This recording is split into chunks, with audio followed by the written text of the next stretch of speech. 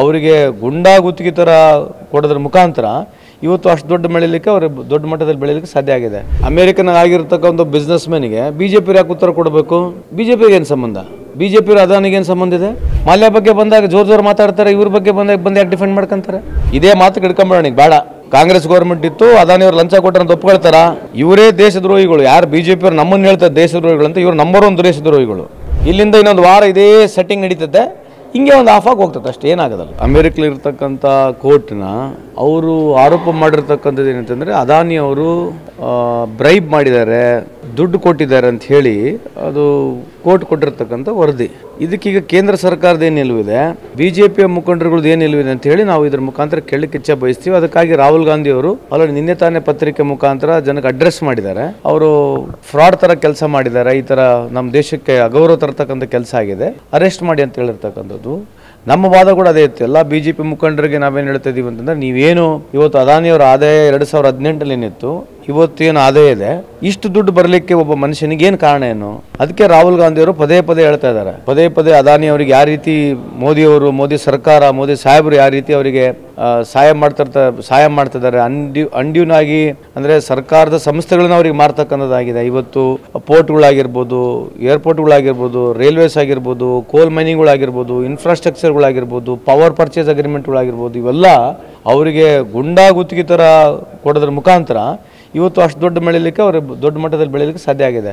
So ಇವರು ಇದೇ ಥರದ ವ್ಯವಸ್ಥೆಯಲ್ಲಿ ಅದಾನಿಯವರು ಮಾಡ್ತಾ ಇರ್ತಕ್ಕಂಥ ಬಿಸ್ನೆಸ್ ಅಂತ ರಾಹುಲ್ ಗಾಂಧಿ ಅವರು ಹೇಳಿದ್ದಾರೆ. ಅದಕ್ಕೆ ಇವತ್ತು ಬಿ ಜೆ ಪಿಯವರು ಅದಕ್ಕೆ ಉತ್ತರ ಕೊಡಬೇಕಂತ ತಮ್ಮ ಮುಖಾಂತರ ಅಲ್ಲಿ ಮನವಿ ಮಾಡ್ಕೊಳ್ತಾರೆ. ಅಲ್ಲಿ ಇವರಿಗೇನು ಸಂಬಂಧ ಅಂತ ಬಿ ಜೆ ಪಿಯವ್ರಿಗೆ ಅಂದ್ರೆ ಈಗ ಅಮೆರಿಕನ್ ಆಗಿರ್ತಕ್ಕಂಥ ಬಿಸ್ನೆಸ್ ಮ್ಯಾನಿಗೆ ಬಿ ಜೆ ಪಿ ಯಾಕೆ ಉತ್ತರ ಕೊಡಬೇಕು? ಬಿ ಜೆ ಏನು ಸಂಬಂಧ? ಬಿ ಜೆ ಪಿ ಅದಾನಿಗೆ ಏನು ಸಂಬಂಧ ಇದೆ? ಬಿ ಜೆ ಪಿ ಅದಾನಿಗೆ ಏನು ಸಂಬಂಧ ಇದೆಯಾ? ಮತ್ತೆ ಹೇಳಿ ಮತ್ತೆ. ಈಗ ಯಾವುದೋ ಕೋರ್ಟು, ಯಾವುದೋ ದೇಶದಾಗ ಯಾವುದೋ ಒಬ್ಬ ಬಿಸ್ನೆಸ್ ಮ್ಯಾನ್ ಬಗ್ಗೆ ಹೇಳಿ ಹೇಳ್ತತೆ. ಮತ್ತು ಮಾಲ್ಯ ಬಗ್ಗೆ ಬಂದಾಗ ಜೋರ್ ಜೋರ್ ಮಾತಾಡ್ತಾರೆ, ಇವ್ರ ಬಗ್ಗೆ ಬಂದಾಗ ಬಂದು ಯಾಕೆ ಡಿಫೆಂಡ್ ಮಾಡ್ಕೊಂತಾರೆ? ಡಿಫೆಂಡ್ ಮಾಡ್ಕೋಬಾರ್ದಲ್ವಾ? ಅದಕ್ಕೆ ಸರ್ಕಾರ ಉತ್ತರ ಕೊಡಬೇಕು. ಭಾರತ ವಿರುದ್ಧ ಸಂಚನ ಹಂಗಿದ್ರೆ ಮತ್ತೆ ಹೇಳ್ರಿ. ಈಗ ಭಾರತ ವಿರುದ್ಧ ಸಂಚಿದ್ರೆ ನೀವು ಪಾರ್ಲಿಮೆಂಟ್ನಾಗ ಹೇಳಿ ರೆಸೊಲ್ಯೂಷನ್ ಮಾಡಿರಿ. ಟ್ರಂಪಿಗೆ ಬರ್ರಿ ಟ್ರಂಪ್ಗೆ ಯಾರು ಗೆಲ್ಲಬೇಕಂತ ಹೋರಾಟ ಮಾಡಿದ್ರೆ ಯಾರು? ಈಗ ಟ್ರಂಪ್ ಮಾಡಕತ್ತಾರ ಸಂಚು ಇವ್ರು ಲೆಕ್ಕಕ್ಕೆ. ಟ್ರಂಪ್ ಗೆಲ್ಬೇಕಂತ ಪೂಜೆ ಮಾಡಿದ್ರಲ್ಲ ಇವರೆಲ್ಲ ಇರಲಿ. ಟ್ರಂಪ್ ಗೆಲ್ಬೇಕಂತ ಪೂಜೆ ಮಾಡಿದ್ರೆ ನೀವು ತಾನೇ. ಸೊ ನೀವೇ ಉತ್ತರ ಕೊಡಿ ಮತ್ತೆ ಟ್ರಂಪಿಗೆ ಬರಿಬೇಕು. ಮೋದಿ ಸಾಹೇಬ್ರಿಗೆ ಡೈರೆಕ್ಟ್ ಆಗಿ ಟ್ರಂಪಿಗೆ ಮಾತಾಡಕ್ಕೆ ಹೇಳ್ರಿ. ಅದಾನಿ ಅವರು ಲಂಚ ಕೊಟ್ಟರೆ ಅಂತ ಒಪ್ಕೊಳ್ತಾರ ಬಿಜೆಪಿಯವರು ಇದೇ ಮಾತು ಹಿಡ್ಕೊಂಬೇಡ ಈಗ, ಬೇಡ. ಕಾಂಗ್ರೆಸ್ ಗೌರ್ಮೆಂಟ್ ಇತ್ತು, ಅದಾನಿ ಅವ್ರು ಲಂಚ ಕೊಟ್ಟರೆ ಅಂತ ಒಪ್ಕೊಳ್ತಾರ? ಅದ ಒಪ್ಕೊಂತಾರ ಮತ್ತೆ ಇಡಿ ಮಾಡಕ್ಕೆ ಕೇಳಿ, ಇಡಿ ಅರೆಸ್ಟ್ ಮಾಡಕ್ಕೆ ಹೇಳ್ರಿ ಅದಾನಿ ಅವರಿಗೆ. ಅವ್ರ ಪ್ರಕಾರನೇ ಹೋಗೋಣ ಈಗ. ಬಿಜೆಪಿ ಅವ್ರು ಏನ್ ಹೇಳ್ತಿದ್ದಾರೆ? ಕಾಂಗ್ರೆಸ್ ಸರ್ಕಾರ ಇತ್ತು, ಕಾಂಗ್ರೆಸ್ ಸರ್ಕಾರ ಸಂದರ್ಭದಲ್ಲಿ ರೊಕ್ಕ ಕೊಟ್ಟರೆ ಅಂತ ಹೇಳ್ತಾರೆ, ಹೌದಾ? ಆನ್ ರೆಕಾರ್ಡ್ ಇದಾರಲ್ಲ. ಮತ್ತೆ ಇಡಿ ನೋಟಿಸ್ ಕಳಿಸ್ರಿ. ಬರೀ ಇಂಥವೇ. ಜೀವನದಾಗ ಯಾವತ್ತು ಯಾವುದೇ ಒಂದು ಇಶ್ಯೂ ಬಗ್ಗೆ ಸರಿಯಾಗಿ ಮಾತನಾಡಕ್ಕೆ ಬರೋದಿಲ್ಲ. ಎಲ್ಲದಕ್ಕೂ ಕಾಂಗ್ರೆಸ್ಸೇ. ಎಲ್ಲದಕ್ಕೂ ಕಾಂಗ್ರೆಸ್. ಈಗ ಅವನು ಅರವತ್ನಾಲ್ಕು ಸಾವಿರ ಕೋಟಿ ಹದಿಮೂರು ಲಕ್ಷ ಕೋಟಿ ಆದ್ರೂ ಕೂಡ ಕಾಂಗ್ರೆಸ್ ಪೋರ್ಟ್ಗಳು ನಾವು ಕೊಟ್ಟಿವ ಏರ್ಪೋರ್ಟ್ ನಾವು ಕೊಟ್ಟಿವ ರೈಲ್ವೆ ನಾವು ಕೊಟ್ಟಿವ ಏನು ಮಾತಾಡ್ತಾರ್ರಿ? ಈ ಥರ ಈ ಥರಕ್ಕೆ ನಾವು ಏನು ಉತ್ತರ ಕೊಡೋಣ ಹೇಳ್ರಿ. ಆಗ್ಬಿಡೋದು ಈ ದೇಶದಾಗ. ರಾಹುಲ್ ಗಾಂಧಿ ಅವರು ದೇಶದ ವಿರುದ್ಧ ಮಾತಾಡ್ತಾರೆ ಹೌದು. ನಿಮ್ಮ ದೇಶ ಅಲ್ಲ ಅದಾನಿ ವಿರುದ್ಧ ಅದಾನಿ ದೇಶನಾ? ಅದಾನಿ ದೇಶ ಏನ್ರಿ?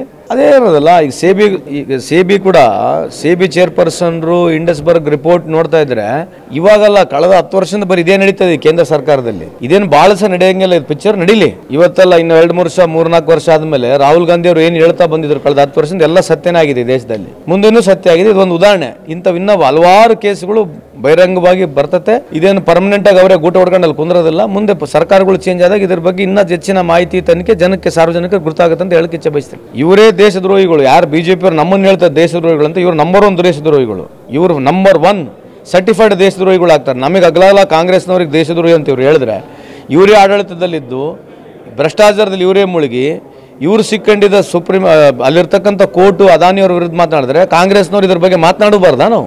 ಇದ್ರ ಬಗ್ಗೆ ಮಾತನಾಡಬಾರ್ದಾ?